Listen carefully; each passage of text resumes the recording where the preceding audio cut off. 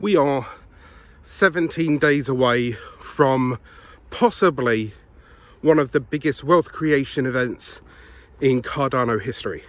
Um, we're already seeing the run up back to all times highs and above. Uh, we had a, I think it was a $2.80 ADA, maybe even up to a $2.90 ADA, in which imagine if you got in at 16 cents at the start of this bull market, right? We have the amazing, spectacular event of me finally walking to work in this field. Thank you for everybody that uh, has been looking after me, offering support. Yes, uh, I was recovering from a hernia operation. I'm still a bit sore. I'm still a bit tender, um, but I have a, a, client call to make today. Um, and I'm well enough that I can very slowly walk to work and uh, I'm very lucky that I've got my own office so I can sit in my own office and try and chill and try and heal, right? I, it's good, right? But ADA is only a couple of weeks away from smart contracts finally going live.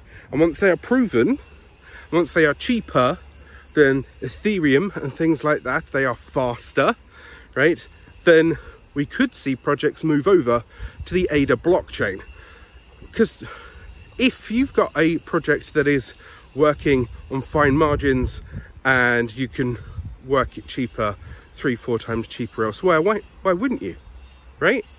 So, at the end of the day, ADA's all-time high is a good sign. We've seen Bitcoin rally within the last week, week and a half, two weeks, right? We've seen the market lift up. My only warning, and this is not financial advice, this is just my own personal observation and advice that I will follow myself, the only warning is that it is September very soon. And that does mean that at the end of September, we lean into October. And this is traditionally right about the trajectory of a full bull cycle. I've got people like BitBoy Crypto suggesting that this could be around about the time that we're looking at the tops. We could see the blow off top for Bitcoin. We could see the parabolic nature of everything else, right? And then the altcoin run in the past has run about a month afterwards. I'm going to start slowly shaving profits off now. Why why now, Alan? Why why not at the top? Are you, are you not limiting your chances of higher and higher gains? Possibly, but I'd much rather have some profits and much less regret than mistiming the top, going to bed, waking up and seeing that it's dropped 40, 50%, that I have, oh, it's the tree, it's the tree, Alan, it's the tree, Alan. Um, I don't want to see that it's dropped 40% overnight and that it's completely eradicated my profit. Um, if I can nibble, say, 10% a week out of my entire portfolio, then over the next six, seven, eight weeks, I will see an increase and an increase and an increase. And then it might even turn into what's left I can play with as house money, you know, money that's left in the account after I've already recuperated my main investment, right? Um, I've already started moving some of my uh, profits over into dividend stocks like Disney, Johnson & Johnson, and I'll continue to do so going forward.